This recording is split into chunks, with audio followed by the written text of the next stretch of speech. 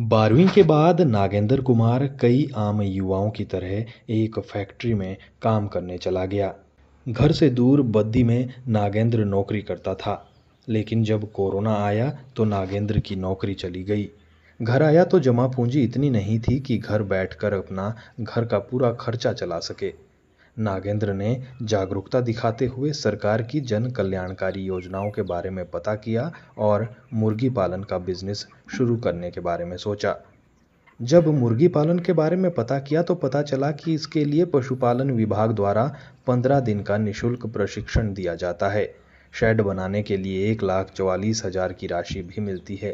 तीन चरणों में एक एक हज़ार चूजे और बीस क्विंटल आहार भी दिया जाता है। नागेंद्र कुमार ने इस योजना का पूरा लाभ उठाया और अब मुर्गी पालन से वो एक साल में चार लाख से अधिक रुपए की कमाई करते हैं। उन्होंने हिमाचल के बाकी युवाओं से भी आह्वान किया कि वो भी सरकार की जन कल्याणकारी योजनाओं का लाभ उठाएँ और स्वरोजगार की तरफ़ अपने कदम बढ़ाएँ। इसके अलावा पधर के और भी कई लोग अब मुर्गी पालन की तरफ़ अपने कदम बढ़ा चुके हैं। ग्वाली गाँव के ही ज्ञानचंद ठाकुर भी सालाना दो लाख तक की आमदनी अर्जित कर रहे हैं। मुर्गी पालन करने वाले नागेंद्र और अन्य क्या कुछ कहते हैं, वो भी आप सुनिए। मैं नागेंद्र कुमार, गाँव चमाहा पद्र का निवासी हूँ।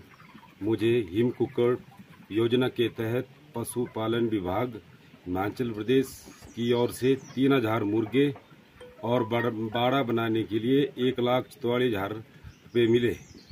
उससे मुझे पशुपालन विभाग की ओर से पंद्रह दिन की परीक्षण चौंतड़े में दिया गया।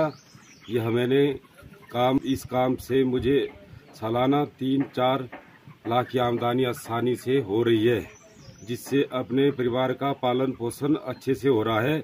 इसके लिए मैं हिमाचल सरकार का बहुत बहुत धन्यवाद करता हूँ, जो यह स्कीमें सरकार ने बेरोजगार भाइयों के लिए चलाई हुई है। मैं ज्ञानचंद ठाकुर, ग्राम पंचायत ग्वाड़ी गाँव पुंदर, पद्धर का निवासी हूँ। हमें जो है कुकुट योजना आईपीपी के तहत ब्रॉयलर योजना मुझे जो है पशुपालन विभाग के द्वारा 600 चूजे दिए गए और हिमाचल प्रदेश सरकार का की तरफ़ से जो है हमें बाड़ा बनाने के लिए भी तीस हज़ार की राशि प्राप्त हुई और पंद्रह दिन का जो परीक्षण हमें चौंतरा में उसका भी मिला। तो उसके हिसाब से जो है, अब हमें जो हम, ये काम मैंने जो है, दो हज़ार इक्कीस में स्टार्ट किया और उसमें हमें बढ़िया मुनाफा मिल रहा है। सरकार प्रदान कर रही है।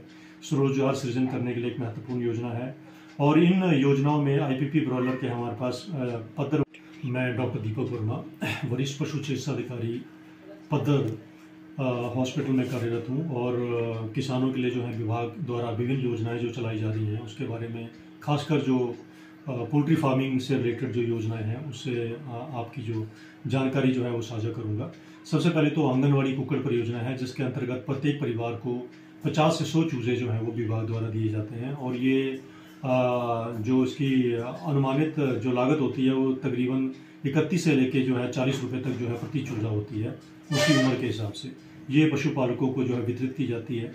आंगनवाड़ी कुकट परियोजना जो है वो रोज़गार सृजन के लिए एवं फ़ूड सिक्योरिटी जो है फार्मर का जो न्यूट्रिशनल स्टेटस है, उसको इम्प्रूव करने के लिए बहुत अच्छी स्कीम है। इसके अलावा एक लो इनपुट टेक्नोलॉजी में आईपीपी ब्रॉयलर स्कीम है। तो ब्रॉयलर चूजे जो है वो फार्मर्स को डेढ़ सौ डेढ़ सौ के बैच में जो है चार बार दिए जाते हैं।